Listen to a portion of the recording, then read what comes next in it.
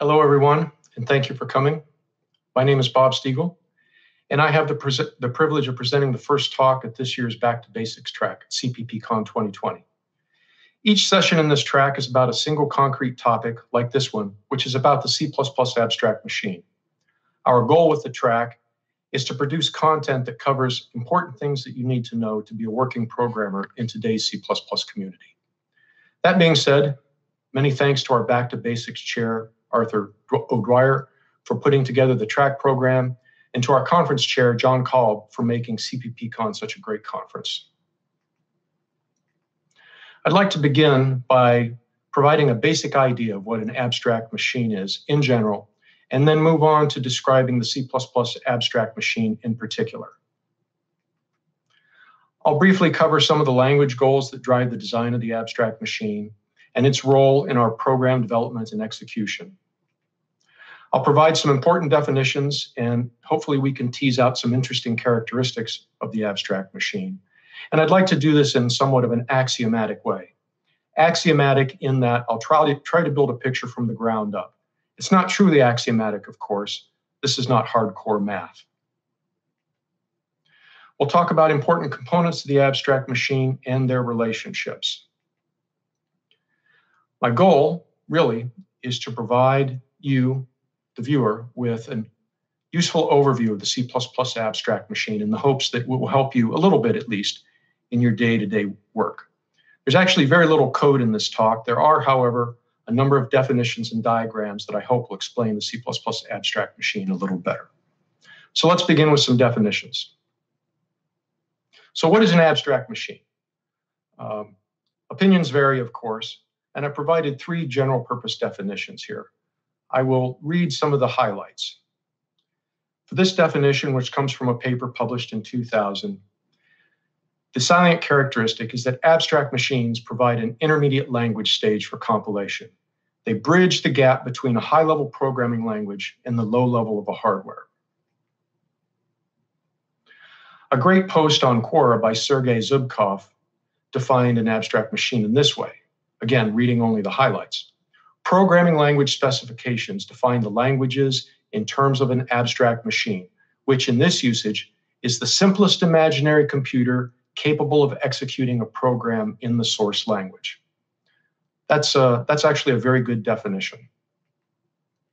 And finally, from the Free Online Dictionary of Computing, it defines an abstract machine as a processor design not intended to be implemented as hardware, but which is the notional executor of a particular intermediate language, an abstract machine language that's used in a compiler or an interpreter. And what is the C++ abstract machine? Well, I like this definition that was given by Bryce Adelstein Lelbach at Core's C++ 29 last year. Bryce says that the C++ abstract machine is a portable, portable abstraction of your operating system, its kernel and hardware. The abstract machine is the intermediary between your program and the system that it is run on. And that's a nice, concise, terse, and spot on definition. So why do we use abstract machines? Well, we have complex information tasks that we need to get done. We want to write programs in some human readable language to help us get these tasks done in a reasonable amount of time. And of course, human readable for productivity. Nobody wants to look at machine code anymore. We want tools that will robustly and reliably take our programs and transform them into a form that can execute on one or more computing systems. And in C++, these tools are primarily the compiler and the linker.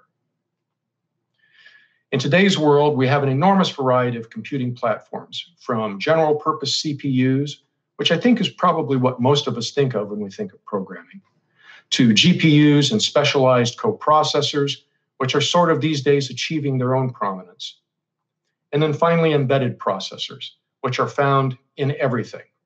I think it's interesting to note the percentage of systems that use general purpose CPUs relative to all systems in the world. I've seen estimates of 95% or higher being embedded devices. So, given all this, it is impractical or perhaps impossible to create a separate language and set of tools for every computing platform. This was done a few times in the early days of computing until, until people realized it just couldn't be done for every new platform. So we want tools to help us manage complexity. When we write our programs, we don't want to be concerned with the details of the underlying physical hardware. We want our languages capable of representing abstractions relevant to the problem domain at hand. And we want programming languages that transform our programs to executable form on one or more computing platforms. To solve problems like this, we humans like to use abstraction. And so we define our programming languages in terms of abstract machines. Virtually every modern language, and even some old ones like ALGOL, defined abstract machines. So you could legitimately ask, what drives the design of the C++ abstract machine? Well, there was a great paper, uh, P2137, published at the committee, which set out a set of goals for the language. Now, I was not a signatory to the paper, but I agree wholeheartedly with the points that they made in it. And they contend that C++ should support performance critical software, uh, evolution of software and the language itself, code that's easy to read and write and understand, practical guarantees regarding safety and testing, fast and scalable development, and the ability to support current hardware textures, architectures, platforms, and environments as they evolve. I want to dig a little bit into some of these that I think are most directly related to the C++ abstract machine. For performance critical software, really what we want to do is give the programmer control over every aspect of performance. C++ should always have tools available to, to address performance problems when they arise. Code should perform predictably, the reader and also the writer of code should be able to understand that code's expected performance, giving an understanding of the underlying execution environment. In performance, um, sorry, so we want to leave no room for a lower level language. In other words, a programmer should never need to look under the hood and have to switch to another language to improve the performance of a program. Finally, as hardware and operating systems and environments evolve, we want to, the way we generate executable code for them also has to evolve. And we need a framework to do this, a, a generalization mechanism that allows us to evolve as these external things evolve. So, how does C++ meet these goals? Well, C++ has no layers of abstraction between it and the hardware. There are no interpreters or virtual machines like the JVM and because of this, C++ can perform high quality code generation in the compiler backend. Literally, there is no room for another language between C++ and the hardware unless you want to drop down into assembler. C++ maps types and operations very directly onto hardware. Most of the fundamental types, if not all of the fundamental types, map directly into memory entities. Things like pointers and references and arrays map directly into the hardware addressing capabilities of most modern uh, microprocessors. And modern hardware supports a wide variety of very useful arithmetic and logical operations on those entities. In general, and to sum it all up, C++ defines how programs work in terms of an abstract machine, a machine that's deliberately defined to be very close to the hardware. So let's look at that a little bit. When we write programs, our programs describe operations that we would like to have performed. And in a sense, those operations are performed on the abstract machine. So we start with our source code, we feed that source code into a compiler, and from our perspective, the compiler emulates, in a sense, that program running on the abstract machine. It checks, it checks the syntax and the constructs in our program against those that are legal to ensure that the, the code, if, if there actually were hardware that implemented the, the abstract machine, would actually execute. Now, the implementation, the underlying compiler and toolchain, it translates the abstract machine operations into physical machine operations. So at the same time, it's emulating our uh, program on the abstract machine. It's mapping operations occurring on this, this on the abstract machine into machine code. And it's the machine code that actually runs on, an ex- on a physical machine. When we write programs, this is our area of concern. We want to make sure that our source code meets the requirements specified in the standard and by the compiler so that it can run on the abstract machine, even if it's only running in an emulated or virtual way. The compiler's concern is to take that same source code and turn it into optimal machine code that runs on hardware out there in the world. So, one central thesis here, and the, if you take away one thing from today's talk, you should take this away. When we write C++ code, we are writing, we are targeting the C++ abstract machine. Now, I don't normally like to read a lot, but what I'm going to do is start with some very important definitions that are in the standard, and I'm going to read some of the highlight highlighted sections. As I mentioned before, I'm trying to build an axiomatic view of what the uh, C++ abstract machine is. And so I have to start with these crucial definitions. So the abstract machine is defined right up front in the standard in section 4.1. And at the very beginning of that, it says the semantic description of this document define a parameterized, non-deterministic abstract machine. The document places no requirement on the structure of a conforming implementation. Uh, rather, conforming implementations are required to emulate only the observable behavior of the abstract machine, as explained below. So there's some interesting tidbits here in this first portion of the definition. There's some things we need to understand. So there was a mention of implementation. There was the mention of parameterized and non-deterministic. And there was this interesting statement that contained the term observable behavior. Implementations must emulate the observable behavior of the abstract machine. Well, implementation turns out to be one of those terms that the standard doesn't define directly, at least not that I could find. And so I'm going to substitute my definition in here. So when I say implementation, and hopefully I'm using the word correctly, I mean tools that verify the program on the abstract machine and generate a corresponding executable image. And these are generally the things that we call the compiler and the linker. At the bottom of that same page is a very interesting footnote that, that provides some, some very useful, uh, very useful definition. It says this provision is sometimes called the as if rule because it's an implementation is free to disregard any requirement of this document as long as the result is as if the requirement had been obeyed. For instance, an actual implementation need not evaluate part of an expression if it can deduce that its value is not used and that no side effects affecting the observable behavior of the program are produced. Okay, so there's some more adjectives and nouns of interest in this. So the, the definition of the abstract machine mentions expressions and non-observable side effects. And so I take that to mean the opposite of observable behavior. Continuing in 412, certain aspects and operations of the machine are described as implementation defined. These constitute the parameters of the abstract machine. Each implementation must include documentation that describe its characteristics and behavior in these respects. So, implementation defined behavior is what characterizes the parameterization of our parameterized non deterministic abstract machine. Now, we can deduce from this that implementation, implementation defined behavior is allowable and it has to be documented. We should be able to look up somewhere in a document online or on paper where some implementation defined aspect of an implementation is provided.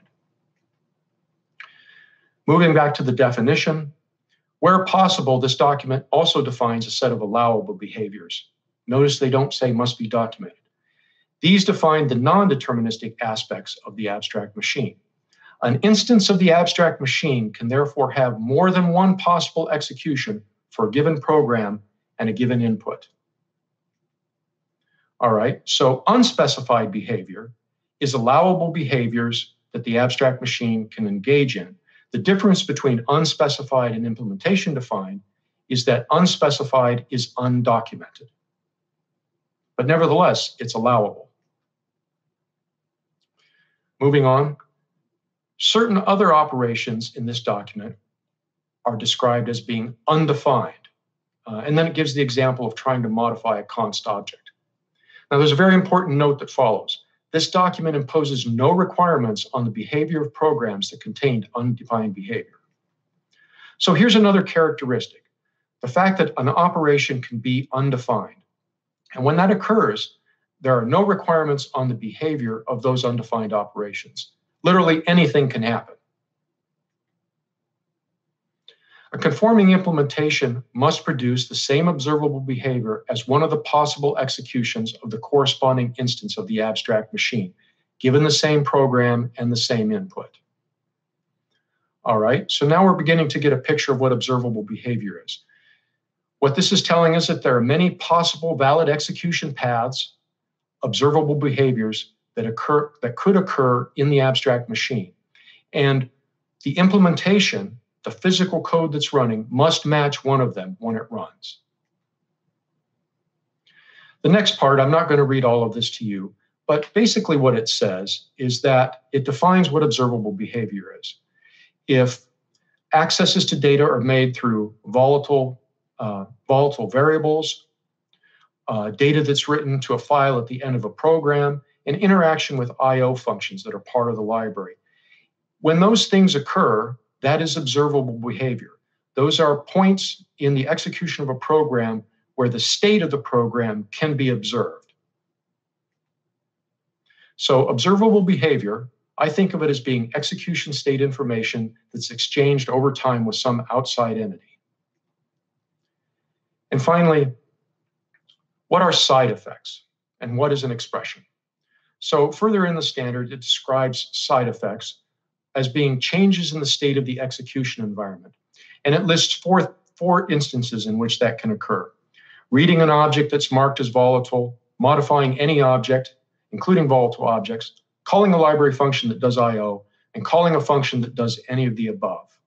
So that is what defines side effects. An expression, a little bit simpler. An expression is a sequence of operands and operators that specifies a computation. The important thing here is that an expression can result in a value and it can cause side effects. So now we have our final piece in the puzzle here of our characterization. So I think that with these uh, sentences and these descriptions, we can begin to form uh, a concrete understanding of the abstract machine. So let's move on. Remember, our programs describe operations performed on the abstract machine. When our source code is compiled, it is as if the compiler is emulating our program that's running on an abstract machine. The implementation translates these abstract machine operations into physical machine operations. It emits source code, it links it, and that's what actually runs on the physical machine. At the end of the day, with a conforming implementation and correct code, there will be equivalent observable behavior between the, the two machines, the physical and the abstract. So let's pretend we're watching a program in action. We have our abstract machine and we have our physical machine. We feed them some input and we start them on the path of executing. As they execute through time, there will be points at which observable behavior occurs. And I've labeled these points as interactions in this presentation uh, as a shorthand for as a shorthand for the statement observable behavior is occurring at this point in the execution state of this machine, be it physical or abstract. And so Interactions will continue throughout the lifetime of the program. And perhaps when the program ends, there will be some output. With correct data, a correct program, and a conforming implementation, at these points of interaction, the observable behavior must be equivalent. Now, this diagram is actually slightly simpler than the real case. Because remember, there's a non deterministic aspect to all of this. So, here, what I've tried to do is indicate with the fuzziness of the lines that there is some non-determinism. So for example, here, when a physical machine is executing between two points of observable behavior, there are some paths of execution that occur that we can't know what they are, kind of like quantum mechanics. And at the same time, in the abstract machine, there are corresponding paths of execution that are occurring, but we just don't know what they are. It's non deterministic. But at these points of interaction throughout the lifetime of the program, and at the end, when we write our output, you can see that, in a sense, the probability waves collapse and the observable behavior uh, of the physical machine must correspond to what have, would have been observed if the program was running on the abstract machine. And as before, at these points in the execution of the program, the observable behavior must be equivalent. So, for example, just to take another example, suppose we have two threads, T1 and T2, and they execute in the time frame between this first interaction and this uh, second interaction. Let's say that thread T1 does 20 units of work and thread T2 does 25 units of work. And when they complete their work, they write data to a file or send data to an output terminal or do something that causes a side effect. Well, this is an allowable interaction. This is correct observable behavior, and there must have been a path in the abstract machine that ended in those two results. Likewise, on a subsequent invocation of the program, if T1 does 137 units of work and T2 does 1729, then in a correct program with a conforming implementation, the observable behavior, those units of work, must have must there must be a path in the execution of the abstract machine where that behavior would have occurred. Okay. I'd like to also provide a couple more important definitions that uh, go a long way to helping describe the abstract machine. The first is a well-formed program. A well-formed program is one that's constructed according to the syntax rules, the diagnosable semantic rules, and the one definition rule. And what this really means is this refers to a valid program, valid at least as far as the implementation is concerned. Implementation defined behavior. We've mentioned this before. The standard says that this is behavior for a well-formed program, uh, a well-formed program and correct input data that depends on the implementation and that each implementation documents. So what this is doing is this is referring to behaviors of a program that vary between implementations. For example, compiler X running on Windows versus compiler X uh, running on Linux. And this refers to, again, the parameterization aspect of the abstract machine. So what are some examples? Well, size of void. I could have a compiler that runs on 64-bit hardware and the same compiler run on 32-bit hardware. And so the size of of a pointer will be different on each of those platforms. And this is implementation defined behavior in that a compiler will document the fact that pointers have uh, eight bytes, a size of eight bytes on a 64 bit platform, and a size of four bytes, say, on a 32 bit platform. The value of char bit, which indicates the number of bits in a byte, uh, which uh, has to be at least eight. The text that's returned by std::bad_alloc what. Uh, implementations are free to substitute whatever message they want as long as they define what that message is in their documentation. And finally, locale specific behavior, which depends on the implementation supplied locales. Next up is unspecified behavior. And the standard says that unspecified behavior for a well-formed is for a well-formed program and correct data is behavior that depends on the implementation. And it, as I mentioned before, notice that there's no uh, there's no mention of documentation in this case.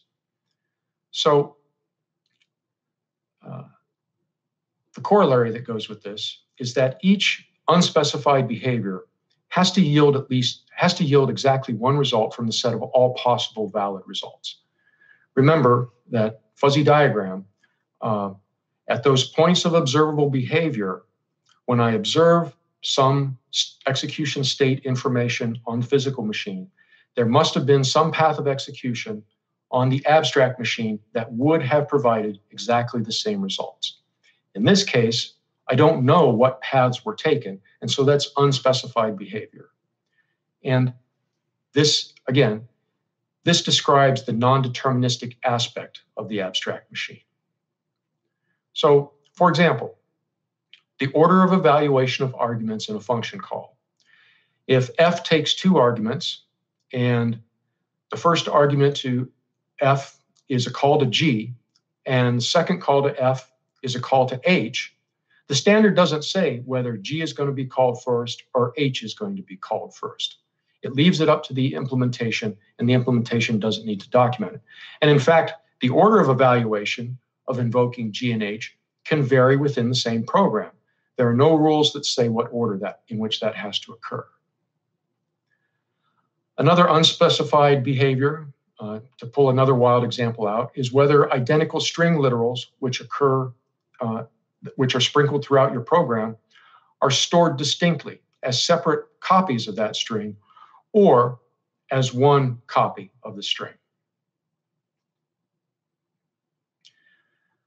Another uh, important bit of unspecified behavior is the order, the contiguity, and the initial values, value of storage that's returned by successive allocation requests. Uh, when you allocate memory, the compiler, the implementation, is under no obligation, in a sense, to conform to any sort of uh, order of where the return memory exists or where the return buffer exists in memory. It's under no obligation to say that if you do two allocations in a row, that the second buffer is actually physically right after the first buffer, or vice versa. And it makes no promises regarding the initial value that lives in the bytes that are returned uh, by that uh, allocation request. Here's another very important concept, that of undefined behavior. Undefined behavior, well, simply is behavior that is not defined or for which the document imposes no requirements. By imposing no requirements, it's not defining any behavior, so it's undefined behavior. In this case, when undefined behavior occurs, there's no restrictions on the behavior of the program. Compilers are not required to diagnose undefined behavior. A program with undefined behavior is not actually required to do anything meaningful. For example, if you dereference a null pointer or access memory outside the bounds of an array, uh, you commit the sin of signed integer overflow, or you access an object through a pointer of a different type. All of these behaviors, these are things that you can do, but the standard says they're undefined behavior. The standard makes no guarantees about what the implementation will do, what the abstract machine will do if any of these behaviors occur. Let's talk about what ill-formed means. An ill-formed program is a program that's not well-formed. Uh, this is a program that has syntax errors or it has semantic errors that the compiler is smart enough to diagnose for you. When ill-formed behavior occurs, an implementation has to issue a diagnostic, even if that implementation defines some language extension that assigns a meaning to such code. So for example, variable length arrays. Some compilers, as an extension to the language, define a facility called variable length arrays. Now, this is a non-standard feature, and by default, your compiler is required to issue a diagnostic warning you that you're using this non-standard feature because it's non-standard. Now, of course, you can always uh, tell the compiler not to provide you the warning, but absent that explicit instruction to the compiler, it has to tell you that um, uh, that you're using an extension. So the standard uses the words shall and shall not in ill-formed to indicate that requirement the requirements that have to be met for a program to not be ill-formed, for a program to be well-formed. There's another characterization, uh, characterization here, which is called ill-formed, no diagnostic required. In this case, this means that the program has semantic areas, errors, but those errors cannot be diagnosed at compile time. So if you run a program that contains an ill-formed, no diagnostic required error, the behavior of the program is undefined if you execute the program. So what are some examples? Uh, violations of the one definition rule. When a constructor delegates to itself, whether directly or indirectly declaring a function noreturn in one translation unit and declaring it without noreturn in another translation unit. So let's dig in a little bit to the structure of the abstract machine. There are, I think of it as being three important pieces that the machine is made of. First important piece is memory. Memory provides storage. It provides storage for objects, which, for the most part, reside in memory. And the third leg of the stool is that we have threads. Threads are flows of control that carry out the operations that we have requested or specified in our program. So let's dig into each of these things in a little more depth. Let's talk about memory first. The abstract machine views memory as a single flat space. All parts of memory in the abstract machine are equally reachable by the abstract machine. There is no conception of memory hierarchy. The abstract machine does not recognize the concept of stack, registers, or cache. Although, incidentally, stack unwinding is mentioned several times in regard to exceptions throughout the standard. The abstract machine has no concept of heterogeneous memory. For example, memory that might exist on a GPU or a coprocessor or some other thing that is external to the processor on which your physical machine is running. Now, taken together, all of these imply that access to memory has uniform latency. The standard doesn't say this explicitly, but I think it's a fair conclusion to make uh, given that it's a flat address space, all parts are equally reachable, and that there's no hierarchy. Otherwise, if latency varied from one part of the abstract machine to the other, there actually would be hierarchy. Memory is composed of bytes, and the standard specifies the minimum requirements for what a byte is in terms of what it has to be able to represent. The memory that's available to a program made available to the program by the abstract machine consists of one or more sequences of contiguous bytes. And any operation that occurs in a program can potentially access any memory location in those sequences of bytes that the abstract machine has supplied to the program. Every byte has a unique location in memory, its address. And addresses are represented in our program by pointers. Let's move on to objects. Objects in a program create, destroy, refer, access, or I'm sorry, operations create, destroy, refer, access, or manipulate objects. Objects have size, which can be determined with sizeof. They have alignment, which can be determined with align, line, alignof. They have storage duration, which can be automatic, static, dynamic, thread local. They have a lifetime, they're temporaries or their lifetime is bounded by the storage duration of the storage in which they exist. They have type, which I think of as being a tag that specifies a representation and the valid set of values that representation can have, along with behaviors that are allowed to occur with that representation. It can have a value, which can be indeterminate. And optionally, an object can have a name. Some objects in C++ have no name like the value that's returned uh, when an object is returned from a, uh, from a function. It's important to note that an object can have at most one memory location. Actually, it can have zero or one memory locations because an implementation is allowed to store two objects at the same address or not store an object at all as long as the program can't observe the difference. And this is the as if rule at work. If storing two objects at the same memory location or not storing an object at all has no effect on observable behavior, then the implementation is free to not actually store the object. An object having a memory location is stored in a contiguous sequence of one or more bytes. And here is just a little drawing showing an int32 existing in a sequence of bytes. The address of an object stored in memory is always given by the address of its first byte. And as I mentioned before, the address is represented by a pointer, and pointers are themselves kinds of objects. Arrays of objects and data members of classes may or may not occupy contiguous sequences of bytes. In other words, structure padding is permitted. However, uh, as we all know, we index arrays contiguously, even though the elements in, an array may have padding in them. So the little picture on the top shows two different variables, x and y, laid out in memory. And it just so happens that y comes immediately after x. Now, these are 32 bit integers consisting of four bytes each. And I'm assuming that I have four byte alignment of my data in this picture.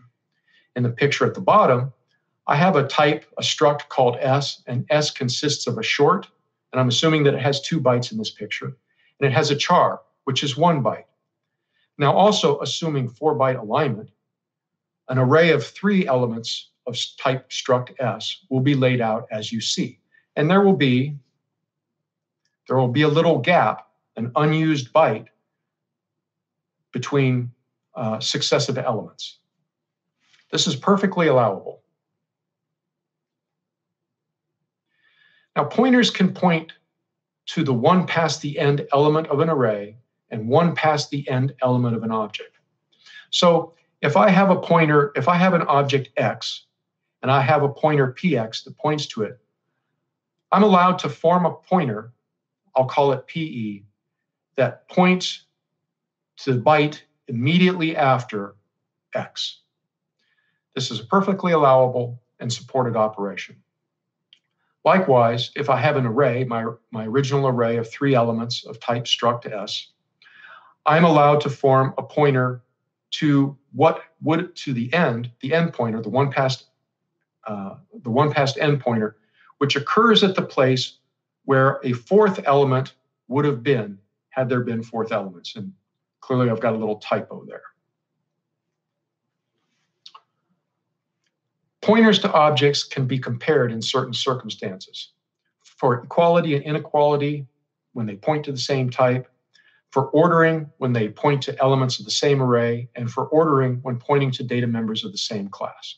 So here's another little example with my mislabeled three, three element array and another element of type S that happens to be instantiated afterward. So here's my code. I've got my struct S. I'm creating a three element array, and then I'm creating an individual object of that type. And it just so happens in this case that the compiler laid it out in this, in this fashion. So which comparisons are allowed? Well, I can compare PB, this address, with PE because they're elements of the same array. I can compare for equality PB with PX, which is the pointer to X, because they're pointers to the same type. I can also compare PD, PB to PX for inequality. I can order, I can compare PB to PE for ordering because PB and PE are both elements, both point to elements in the same array. However, I cannot compare PB to PX, even if X is in the spot where a fourth element of that array might have occurred because X is not an element of the array um, S, and it's not the one past end pointer either. Another property of objects is that they have a property called storage duration.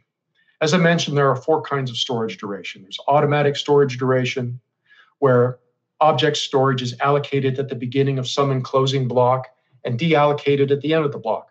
And this is the kind of storage duration that we're probably most familiar with when we're writing code inside a function we declare a variable uh, to do something inside that function. That's automatic storage, automatic duration. This applies to all local objects in our code, objects that are defined inside of blocks, except those that are declared thread local, static, or extern. We also have dynamic storage duration. This is storage duration that we as programmers have explicit control over. And in this case, our object storage uh, is allocated and deallocated by the program using functions to perform dynamic memory allocation, right? Objects with this duration are created using new expressions, i.e., the new operator, and they're destroyed using delete expressions, uh, like using the delete operator.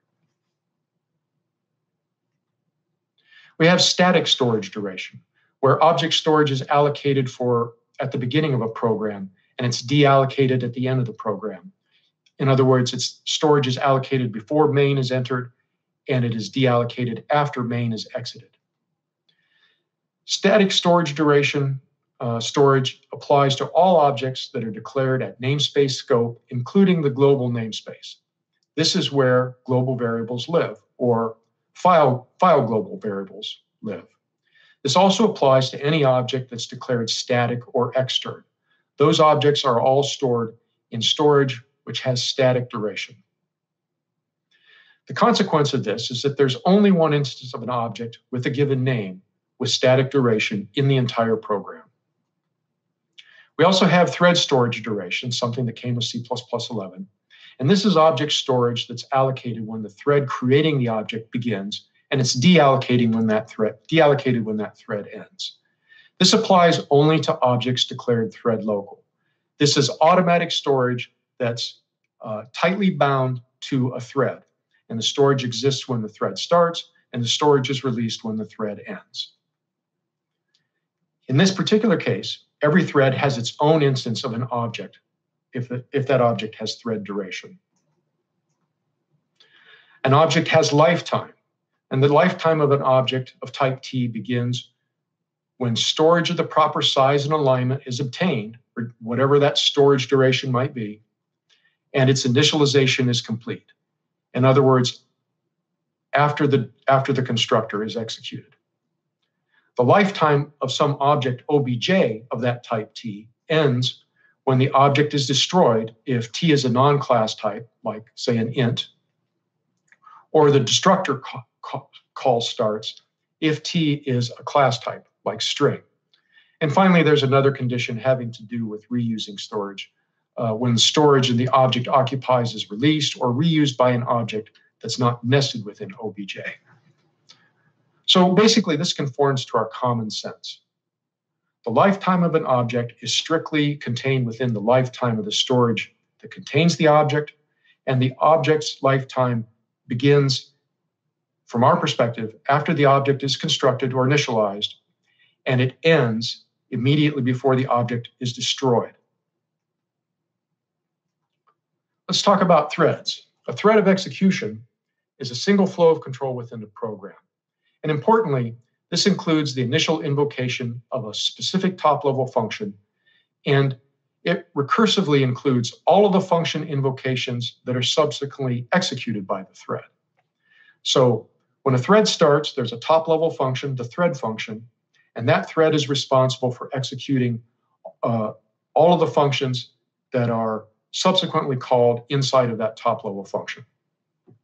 And I, of course, as we all know, a C++ program can have more than one thread running concurrently. Every thread in a program can potentially access every object and function in the program. And this is a consequence of the rules, the guidelines that we mentioned regarding memory. So when a thread creates another thread, the initial call to the top level function of that new thread, the thread function, is executed by the new thread not by the creating thread. Well, of course, there's one very special top level function that we all use, and that's main. And there are several rules that go along with main, uh, uh restrictions on how it can be used. It has to have C++ linkage. An implementation has to provide at least these two forms of the main function, although an implementation can provide more. It can't be overloaded, it can't be a coroutine. Main cannot be called from within a program. It can't be deleted, it can't be static, inline, or constexpr, and so on. Importantly, main is the entry point for the program. So when you execute a program, what happens is the outside environment starts the main thread of execution, does some initialization, and then it calls main. That initialization is initializing objects of static storage duration. The initialization occurs before main is called, and that storage is destroyed after main exits. Every program, therefore, must have at least one thread, the main thread. And the top level function for every program is main. So, what does it mean to invoke and execute main? Well, that takes us to the question what does it mean to invoke and execute a function in general? Well, we know functions consist of statements, statements consist of expressions. We also know that an expression is a sequence of operators and operands that specify a computation, and that the expression must be evaluated to actually do the computation. When we evaluate an expression, we get we can get a result, and the process of getting that result can cause side effects. So, in summary, evaluating expressions that cause side effects can result in changes to the program's execution state and possibly to the observable behavior. And here I provided this bullet to sort of tie into that list of characteristics that we put together at the beginning of the presentation. Every C++ expression has an associated type. And every C++ expression is a member of a value category. You've probably all seen this little diagram, which is used really to help explain what R value objects are and what L value objects are. So I'll give a quick overview. A GL value is an expression that basically uses the name of an object. If you take the name of an object, if you use its name, if you take its address, if you return a reference to an object from a function, if you pass a reference, that is a GL value, a generalized L value. On the other side of the coin is a PR value, and the P stands, I think, for pure. At least it's been said that P stands for pure. And a PR value is an expression that initializes an object or bit field and uh, computes the value of the operand of an operator as specified in the context in which it occurs. So, what are some examples? Literals are examples of PR value. They don't have names and you can't take their address. Uh, function calls that return a non reference type, like returning by value. If you return a string from some function, that string is an R value. An X value is a GL value uh, whose resources can be reused. So an X value expression has an address that's no longer accessible by your program, but you can use it to initialize an R value reference, which provides access to the expression. So an example here, function calls that return an R value reference, uh, like std::move, or casting to an R value reference, or any expression that designates a temporary object. And then finally, an L value is very helpfully defined as being a GL value that's not an X value. And an R value is either a PR value or an X value. So as we learn to program in C++, we develop some intuition about objects. And after some experience, we begin to understand when we can take the address of something. And it's sort of a rough guideline, but it's a useful guideline. If you have the name of something and you can use that name or you can take the address of that thing, then in general, you can think of it as being an L value. If that thing doesn't have a name, or it's a temporary, or you can't take its address, then think of it as being an R value. Now, that's not a perfectly correct characterization, but in my experience for typical day to day work, it's good enough and it works. So functions consist of statements, statements consist of expressions, an expression is a sequence of operators and operands that specify a computation. When we evaluate an expression that causes side effects, we can have changes that uh, we can change the program's execution state and, and possibly affect observable behavior. The rules that govern the evaluation of expressions are formulated in terms of an expression's type and value category. That's why I covered them. The idea of an expression having a type and a value category is the basis for all of the rules, or I guess probably most of the rules in the standard, that describe how an expression is to be evaluated. And type and category are two, two important parameters into that equation, if you will, that, that determines the outcome of evaluating an expression. So, in summary, our programs describe operations that are performed on the abstract machine, as I've tried to denote in this diagram. We create source code, we feed it to a compiler. The compiler effectively emulates that program running on the C++ abstract machine. Implementations translate abstract machine operations into physical machine operations. And so here we have the compiler taking, uh, mapping the operations from the abstract machine into machine code and stitching it together to create an executable that runs on a physical machine. Implementations must emulate the observable behavior of the abstract machine. So here we have some indeterminate, non deterministic behavior that's occurring in the physical machine, and we get some observable behavior at a point of interaction, there must be in a correct in a in a uh, conforming implementation and a correct program with correct data, there must be an equivalent path of execution through the abstract machine that leads to the same observable behavior at that point of execution.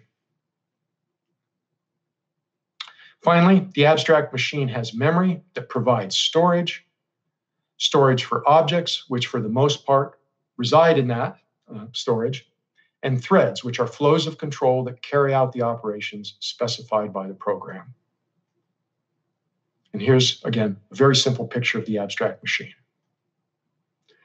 So in summary, again, the one point you should take away from this, if you take nothing else away, when you write C++ code, you're not targeting a particular physical machine unless you know you're writing device drivers or something you're not targeting specific hardware you're targeting the c++ abstract machine okay thanks for attending uh, uh, later today this talk and, and my second talk will be up on my github site and there's the url for my blog and so now i'm going to move over to Remo and answer some questions, perhaps for the next three minutes. So let me go there.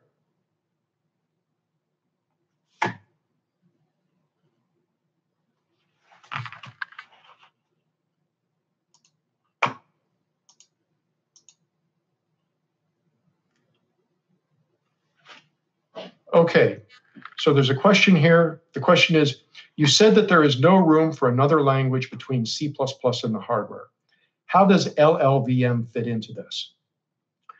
Well, I'm not an LLVM developer. Uh, so my understanding of LLVM is that it is a set of tools for developing compilers.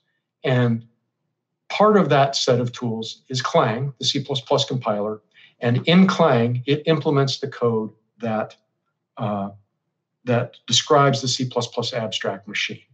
Now, I, as I think that historically LLVM was intended, originally meant low level virtual machine, and perhaps it still does.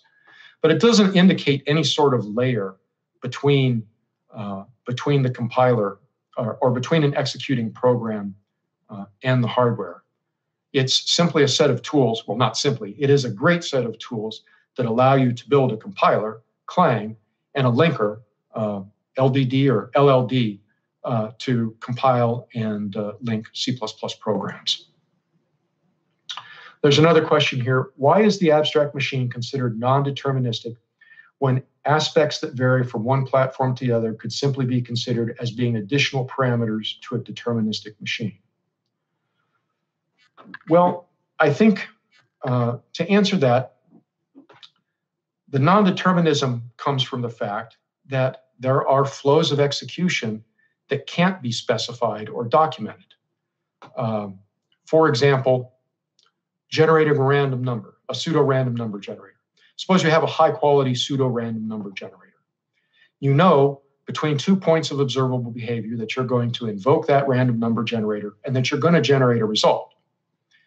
Now, the non determinism comes from the fact that as the pseudo random number generator is doing its job, it's computing the random value, it is difficult, if not impossible, to understand what is actually happening under, under the hood.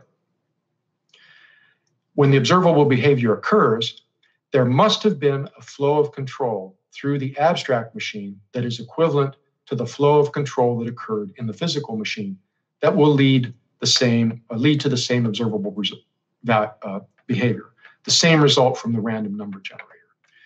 We can't specify, we can't know in advance what that behavior is going to be. All we need to know is that when the observable behavior occurs, when we interact with the outside world and we read that random number, we write it to a file or we print it to a terminal, that the, there must be equivalent flows of control through the physical and abstract machine. And I hope that answers your question.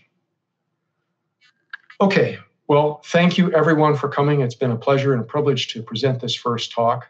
And uh, everybody have a great conference, and we'll see you in the hallway soon.